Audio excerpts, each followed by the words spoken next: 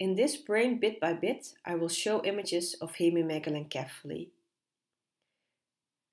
A malformation of cortical development with intractable epilepsy. Because we are going more and more towards molecular medicine, looking at genes, proteins, and pathways, I will start with the mTOR pathway which is abnormal in hemimegalencephaly, as well as in focal cortical dysplasia, tuberous sclerosis complex, and many other diseases. mTOR stands for target of rapamycin, and rapamycin is a drug that was discovered in bacteria on Rapa Nui or Easter Island that turned out to be to be a very strong immunosuppressant and was used in transplant patients for decades. The mTOR pathway is highly conserved during evolution, which means that it has remained the same in different species, and this indicates that it's a very important pathway. And mTOR is involved in cell growth. Before cells divide, they have to grow, get bigger. And cell growth is not just about getting more mass, it's a very coordinated process, and mTOR coordinates this. I couldn't find an image of the consequences of mTOR problems in the supratentorial brain, so this is a study from cerebellar Purkinje cells, which are GABAergic, but Purkinje cells also arise from the ventricular zone, like the glutamate neurons in the supratentorial brain. And if there's hyperactivation of mTOR, the neurons in green have larger cell bodies, more dendrites, and unfortunately, if you compare these images at 12 weeks, they go into apoptosis faster.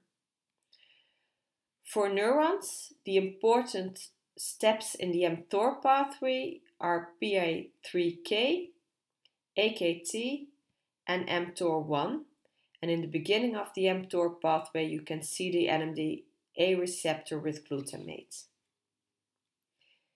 Because this pathway is abnormal in patients with hemimegalencephaly. The epilepsy is, in res- is not responsive to the normal anti-epileptic drugs, but mTOR inhibitors might be effective. And what happens in the ventricular layer there's too much proliferation and too much large neurons and glial cells, and this abundance of abnormally large neurons and glial cells migrates to the cortex and gives overgrowth of usually one hemisphere. Sometimes it is difficult to see which hemisphere is abnormal. If you look at these T1 and T2 weighted images of a one month old boy with hemimegalencephaly, and you look closely, you can see that in the right hemisphere there's blurring of the gray-white matter boundary, so this is the abnormal hemisphere. On the T2 weighted image, the white matter should not be myelinated in a one month old child.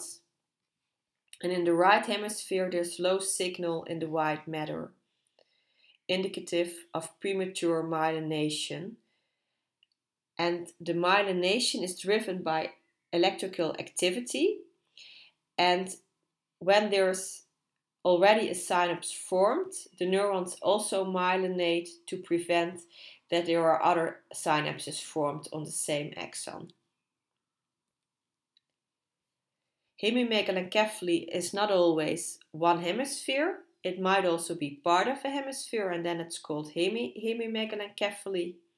And again, in this case, there's a mutation in the mTOR pathway, or it might be one entire hemisphere and a little bit of the other hemisphere.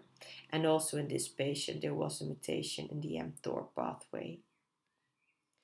Thanks for watching, and until next time when we will discuss the differential diagnosis of hemimegalencephaly, Rasmussen encephalitis, and Sturge Weber syndrome.